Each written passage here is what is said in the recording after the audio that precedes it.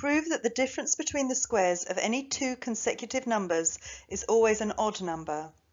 If n is a number, n plus 1 is the next consecutive number. 2n is an even number and 2n plus 1 is an odd number.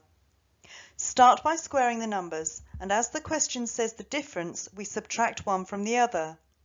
Multiplying out the brackets and collecting like terms leaves us with proof that this is an odd number.